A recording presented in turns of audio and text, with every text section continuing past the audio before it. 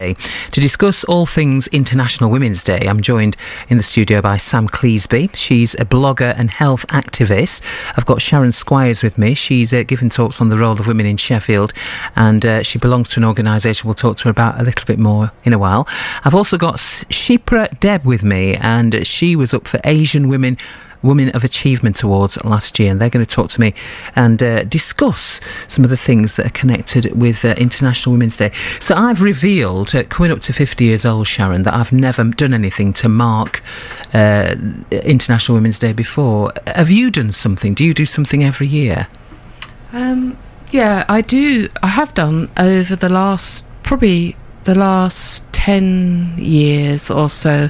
I was saying earlier uh, to, to your other guests that for me, when I was younger, International Women's Day didn't really mean anything, or, or I had quite. Um, probably quite sort of uh, negative perceptions of it be, either being full of sort of very middle class women and at that point I didn't see myself as one. I think I am. I have to admit to being one now or extreme sort of feminists. And although I actually do call myself a feminist, I, I had a sort of stereotype. But it was actually I. I got involved when my daughters, I have two daughters, were very young, and there was just an event on in uh, the place where I was living, and it was just women getting together talking about becoming they actually just talk about becoming new moms, but it was a really, really good event. And then I sat there thinking, you know, I'm fairly relaxed about it. For me, it's a day to talk about women, what's happening to women, what ha- what's happening to women across the world that mm. I don't know an awful lot about. What's happening to women in Britain, and as you know, Paulette, I'm quite interested about what's happening to women in Sheffield and South Yorkshire as well. So I see it as a day that that gives us the space just to have those conversations, and also because I have two daughters, I think those are really important conversations so I know the right things are happening to give my girls the sort of chances I want them to have. Are they interested in International Women's yeah, Day? Yeah, they both. They we all we actually send each other a text saying Happy International Women's Day to each other, and they both they don't get like really really involved but they will both be going to events um, one is my oldest daughter runs her own business so one like uh, uh, the guests um, she's going to an event about women in business mm. and the other daughter is quite political and she's going into an event about why so many women are leaving politics rather right. than we need more women to get involved so they're just going to one event but you know, I'm quite proud of them really that yeah. they're doing that sort of stuff. What about you then, Sam? Because you've got you've got a one. Have you got one daughter? I've got one daughter and two sons. Yes. And what about International Women's Day? What does it mean to them? Do you think? I don't think it meant very much until I started talking about the event that I'm being part of, which is at um, uh, Experience Barnsley uh, at the town hall. And it started a great conversation at home with the children about what it is to be a woman, how to celebrate being a woman, and how we're all feminists. Even mm. my son's a feminist and my husband's a feminist because it's just about equality for women. And that's interesting. You talk about celebrating women. Do we have to celebrate men? I never really hear that phrase used for men. What do you think that is? I think it's it's like my kids say to me on Mother's Day, um, why isn't there a Children's Day? and I say, every other day of the year's Children's Day. I think maybe every other day of the year's International Men's Day. Mm. So it's just a nice it's a nice time for everyone to to be able to shout out loud and celebrate and be part of different uh, events throughout Yorkshire. But is it that straightforward? Is every other day, um, would you say, Shipra, is every other day International Men's Day? Is it that simple anymore, do you reckon? No, I don't think so. I mean, I, I first got interested in the whole issue of what women do and what their roles are when I came into business. And that's when I realised that actually a lot of people were talking about what women do, how difficult it is for women to climb the ladder, how there's a lack the higher you go up the rankings in terms of women. But the actual, there's no clear cut answer to that. I think there are several reasons along the way, of which nature plays a big role in it. And I think we just can't ignore that and say, well, it's, it's, it's, it's a simple answer. We also have to look at the historical data and from how women's roles have evolved over time. I think today's I think today to be a woman is tough. because the roles are not as clear cut. Before it used to be the men were the providers, the women were the homemakers. Today, those kind of boundaries are a little bit more jaded, and people are interloping into each other's roles. So but then, if I spoke to my mum and I talked about the role of women today, I don't think she would say that our role is as tough as her role was, Sharon. So you're saying, Deb, that you're saying that um, uh, Sip- uh, Shipra, sorry, you're saying that um, you think the w- women's role is tough today. Is it just that women's role is always going to be tough then, Sharon? Um, I mean, I agree. I agree. It's complicated. And my, my mum was a really clever. Is she is. my mum is a very clever uh, woman, and I hope she's not listening. She will probably. I is, though. she is. Randy, coming for you. um, um, who wanted to. I mean, we, we, she grew up in London, and she wanted to go um, to grammar school, but she had two brothers, and you know, it's a it's a classic story. It's the same uh, for lots and lots of people. And her father said, "No, I will buy school uniform for the boys, but I won't buy because because actually your role is to leave and get married and know, With someone else's responsibility. and I just think she's never really got over that. So so like you know like we we've been saying she spent a lot of time she had three girls and she spent a lot of time encouraging us to do what we wanted to do um and I think that's really what it's fundamentally about, isn't it? It's about feeling that you can make the choices you want to make. So if you want to go, if you want to set up your own business and be a f- successful businesswoman or a successful uh, blogger and organizer, or for me, somebody who tries to make a difference through working in the public sector, that's our choices. And, and, and if you want to stay at home and look after your kids, and, you know, I have stayed at home and looked after my kids when they were younger, that's also a really positive choice. Hmm. and if you want to do both, Yeah, which is what I did. I worked part time, and it is. And I, I suppose going back to your question, I mean, I I think I I think it's hard for lots of people. I think people work very long hours, men and women.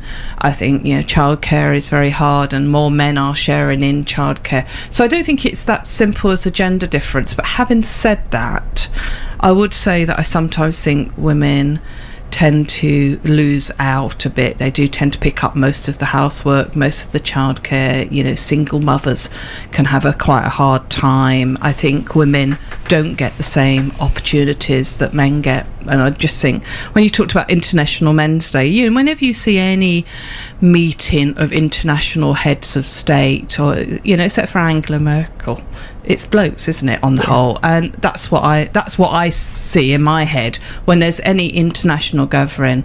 Ninety percent of the people will be men. Yeah, Eight one three double three to get in touch on BBC Radio Sheffield this afternoon. If you want to ask a question, I've got three S's, haven't I? I've got Sharon, Sam, and I've got Shipra, and we're talking about uh, International Women's Day. You can ask us a question if you want to, or you can get in.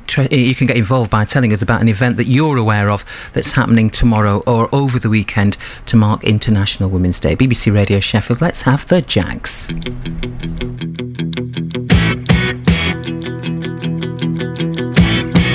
You're only coming if you're feeling blue. You tell me I don't pay attention to you. But if you wanna know just where to Back of my hand, BBC Radio Sheffield, you're listening to Paulette. I've got Sam Cleasby with me, I've got Sharon Squires, I've got Shipra Deb with me, and uh, we're talking about International Women's Day. You can join in the discussion if you want. If you've got a question that's been raised from anything we're talking about, 81333 to text, it's 0114 279 6699 to give us a call. Something I noticed on Channel 4 News, actually, it was yesterday, um, was uh, changes in Spain. Um, they were talking about uh, Spain's Conservative government, that it's passed its first parliamentary hurdle uh, that would allow abortions only in the case of rape or danger to life. The current law allows abortion on demand up to 14 weeks and easy access to the morning after pill. So um, there's been a lot of, uh, you know, they, had, I think it was a Godmother's Day they were talking about that they had yesterday in Spain, and a lot of the women were getting very angry about this. And uh, we were talking just now, weren't we, while the music was on, about some worrying trends because, in one sense, it seems that women are moving forwards, but in another sense, in some places and in some parts, uh, that women are moving backwards. What do you say to that, Sam? I think there's a lot of worrying trends at the minute. I think there's a lot of things that we worry about for our daughters and the next generation. Um, my talk tomorrow is a lot about body image and how women see themselves and the the negative words that women say about themselves and the things that we pass on to our daughters and our our nieces and and the children around us. Um, and so, yeah, it's, I think it's quite frightening. Are you are you worried for your daughter then? How old is she? My daughter's 11 and she has great self esteem. She's at the age where she still feels happy to talk about her body in a positive way. Um, and I'm not sure what age it, they get to or why there's a sudden change into saying, from saying, my legs are great because they run really, really fast, to, oh, I'm so fat, I don't look like the girls on the TV. And that's quite frightening. And I think that it's our responsibility as women to, to pass on a real positive body image to our children. And what about men's responsibility in this? And what role do men play in this supporting of positive body images for women? I think men play a massive role. I, I teach my sons as much as I teach my daughter about the importance of respect for one another, not just for women, but just respect for one another. That's mm. that's a massive thing. So, BBC Radio Sheffield, just to, to remind you, we're having a chat for International Women's Day. I've got Sam, Sharon, and Shipra with me. Uh, Shipra, we're talking about worrying trends. Is there anything that you've noticed? You sm- have I pronounced your name right? Because you're smiling. That's always a sign that I've not pronounced someone's name right. No, no, it's perfectly Have I done all right. right? Okay, then. I, I think you know in, in terms of what I do I have a I have a business where I see lots of women at different stages in their lives so for example I see a lot of grandparents when they come in with their grandchildren I see lots of new mums. When they come in I see mums with a bit older children. And I see mums who are sort of just coming out of that phase. And it's quite interesting to see how much the self-esteem issue is still there. I think when you have a, a child, you have got to remember that behind that child, I mean, I've got three children, and behind that, somewhere, there's some part of me that still believes that when I gave birth to my children, I gave birth to my brains along with my placenta. So there is that whole self esteem thing. So, do you change that much then, do you think, when you have children? I think there's a lot of hormonal things happening. There's a lot of. you Is it not that just that you're focused on this person and you've got to help this person to survive and it's Well, your course, responsibility? That's a huge thing, Yeah, there's it? an unconditional love that comes with that. But then alongside that comes the extreme tiredness from the lack of sleep. There's a lot of physical changes that your body has never experienced before. And those kind of changes are really unthinkable unless you're a woman. and does that affect your self esteem then? As a, I, I think so. Clearly, when you know, if you were used to wearing nice, lovely dresses, and then you go to wearing blouses that you can lift up, it, there's a difference. And then you're also conscious about what kind of image you're portraying for that serious part of a large part of a woman's life. I think so. It, it, it is up to us to say actually, what we do is really important, and whatever phase we go through, we have to get through. But even whilst we're doing that, it, we're still proud to do that. So, do we feel forced then? You know, is there an element of being forced to do something that probably doesn't feel natural? You know, like you know, maybe when you've just had children, you, you you're the place that you work once you're back in full time. Is there a sense of us being forced to to do things that are not comfortable for us, Sharon? Do you think, as women? Well, I mean, it's quite quite a long time. I mean, to reassure people, I, I think I've become a much better and cleverer person as for me personally, um, as a result of having children. Because I think I was a bit uh, had a tendency to be a bit self obsessed before, uh, you know, which was sort of good because I I. I got on and did lots of things that you needed to be, uh, but the, um, I mean, I think there's for me. There's always been a tension about the world of work and the world of my home, and that and that is about my children, but it's also about you know having enough time and energy to be a decent partner. So uh, constantly having to choose, and- yeah, and, well- what feeling good at both, or feeling that you're actually missing the market on well, both. I think work can just take up too much time. I did go part time when I was younger, but there, you know, then there was a period where it actually financially that wasn't so much of an option, and then there was a period where if I did want to progress at work, being part time would have stopped me. You know, getting mm. getting any further. So, um, so I think the world of work and the world, you know, the world of home and family and friends. It there's always seems to be. It's always like you've got these balls and you're juggling. I'm sure we mm. all feel like that, and you're juggling them, but you never probably and what gets lost has always got lost in that is me really mm. so i don't look after my you know i don't I, I I don't exercise as much as I should, and I don't eat as well as I should, and I probably don't re- relax as much as I should. I mean, I think for me, I'm, I'm just going to say in wor- in worrying trends. There's two levels. One is, uh, as my my girls are, are, you both went to university, and I worry about the cost of university now, and I worry um, at the you know um, for all young people about, and then but they've left university and they're now in the world of work, and it seems to me I remember fighting when I was younger for equal opportunities for people to know how what jobs were there. Now it's all it's all really hard to work out how you get to jobs, how you network, and I think hmm. young women are losing out. In there are a lot more factors to consider Yeah. other than yourself That's and your decisions. I and how you present yourself, and some of the sort of interviews they're asked to go to. I think, yeah. And then I, th- the last thing I say, there is there was a big report out, and I can't remember the details out, but just about sort of violence against women and how violence against women is being used. Um, across the world, as you know, as part of war, you know, it's uh, war is no longer just about guns and things. It's actually about purposely using violence against women. You know, violence against women in, in some countries is just really scary. And that worries me because it worries me thinking, well, where am I going to travel? If my girls suddenly say they're going to go on holiday somewhere, I start thinking, actually, how safe is that place for women?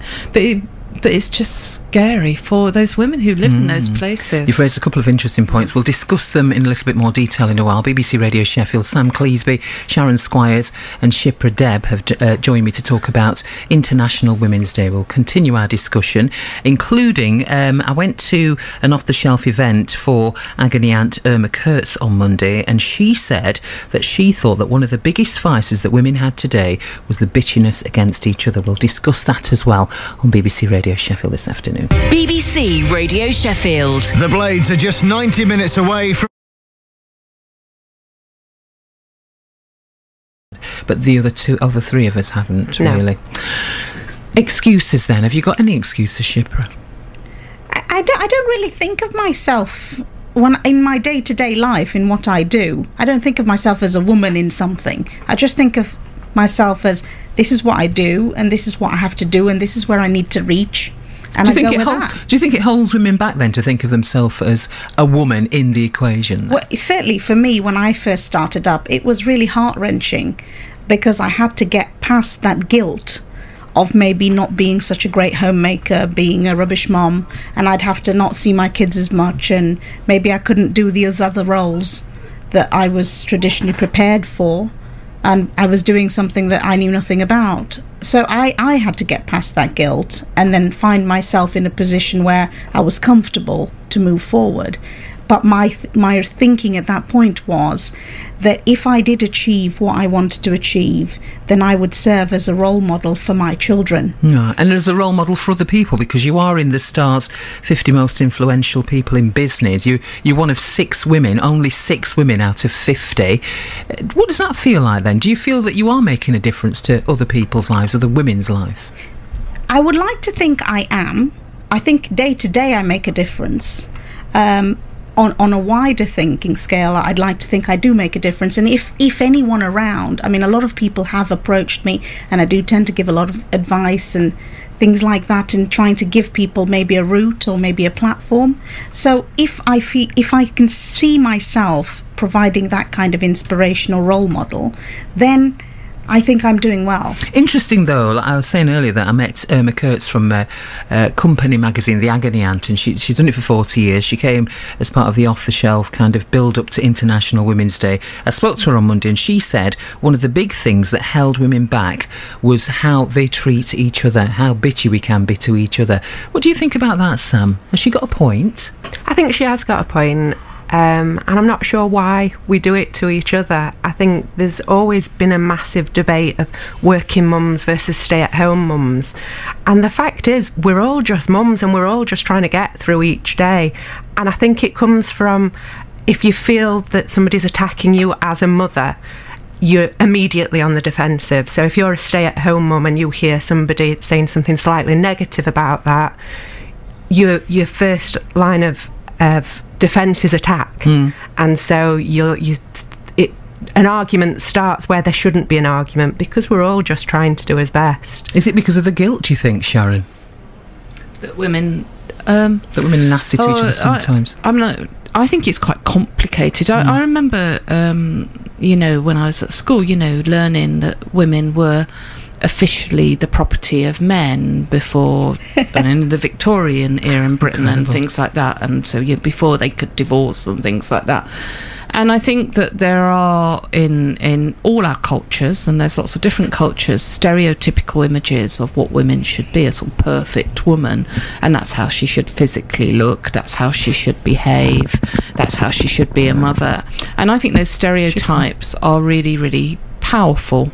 And I think we women hold those stereotypes as much as men do. Um, Well, I think if we're attacking each- each other, does that not let, let men off the hook then, do you well, think? uh, um, no, I'm not. No, because I think you know men perpetuate those those stereotypes as well. That although interestingly, you know things like uh, you were talking earlier, Sam, about you know body image and you know I'm not. I think women. Uh, I mean, there's the fashion industry that I do. I personally have a problem with because, you know, those women are so thin Yeah. and uh, they're illly thin, and but and my, when my daughters were a bit older, when they went to secondary school, and all, despite lots of self confidence, those you know who being called fat was like the end of the world, uh, uh, and they weren't fat at all. They were just average size. So, so I think that there are things like the fashion and men's men's role in run fashion industry, but a lot of my mates who are blokes, they don't seem to even notice what size women are really. But women,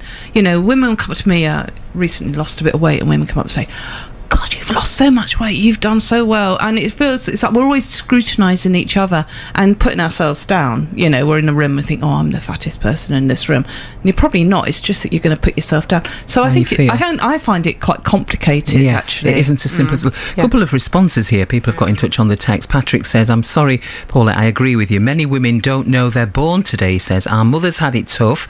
Many women today could not cope with what they had to do in their daily lives." Would you like to respond to Patrick Shipra? I don't know quite what to say to that. I, I think, I, well, I think it's wrong, actually. I, I think women have a harder job today, and lots, in lots of cases, a family survives because of a woman's ability to adapt to every single role that's put in front of her. I completely agree. Sam agrees with that. Sharon, would you like to Yeah. make a quick comment? Yeah, unanimous on that one. Jed in Lane Tops got in touch on the text. I think a lot of women have had more choices than men, says this text. I'm 50.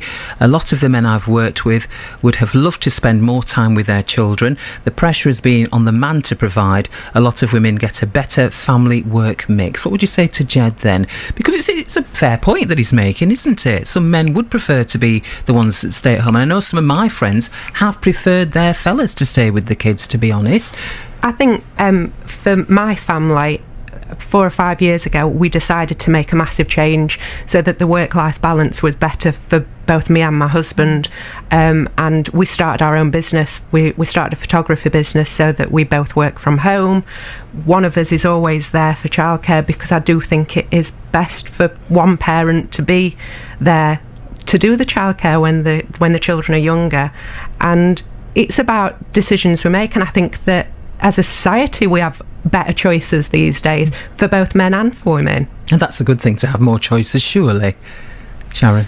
yeah, yeah, and I, and we make her we make her. I mean, it can be a bit overwhelming, can't Yes, it? it Having can. loads of choices, I get overwhelmed Yes, I thinking, do, what do. I want to do with my life now? And and, and also, you know, I, d- I don't know. I mean, how do, do people really have lots of choices? Because I I know that the statistics say that there are lots of families out there that require both the man and the woman to go Hmm. to work to survive. You know, they're poor, they're on low incomes and to survive. So how much choice do people really really have? But I mean, I'm older than Sam, and and and we both went part time when they when our children. So I, I think men can men do have the choice if they want to Yeah. to go part time. I or think not Jed to work. probably feels that he's missed the boat a bit there.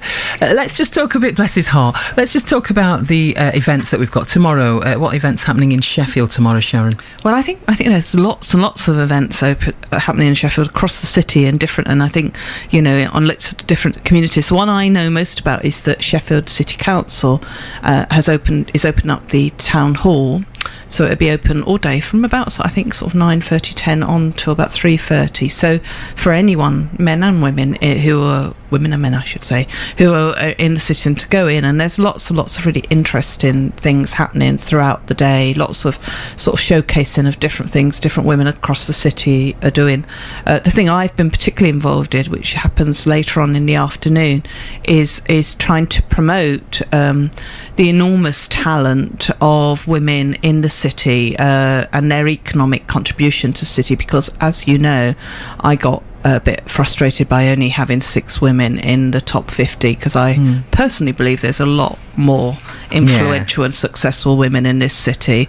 Um, and I, that list to me reflected something that we need to challenge about the culture. So it's a discussion Sheffield. that's going to be had tomorrow. I'm going to be there to chair it from You 1.30, so You we're going to are. have having a talk about that. And just to remind us of your event then, Sam, before you Um, go. I'm doing a talk at uh, Barnsley Town Hall with Experience Barnsley. There's uh, five speakers for the day. Um, uh, Egyptologist Joann Fletcher, who I think is talking about Egyptian feminists, so I can't wait Oh, to hear that. good, yeah. Um, and there's uh, Katie Edwards, Lorna Warren, and Anna Fay, and then my talk at the end at three o'clock. I'm finishing off the day, so it's from one o'clock, and uh, I think there's tickets still available through Experience Barnsley. Wonderful. Well, it's been lovely to talk to all three of you. Thank you very much for joining us on BBC Radio Sheffield. We've only touched the top of the tip, tip, tip, not even 10% of this iceberg, have we? Sam Cleasby, Sharon Squires, and Shipra Deb, thank you for joining us on BBC Radio Sheffield. And we're going to be uh, singing loudly with some opera after the Everly. I was going to say Everly Pregnant, but I meant Everly Brothers.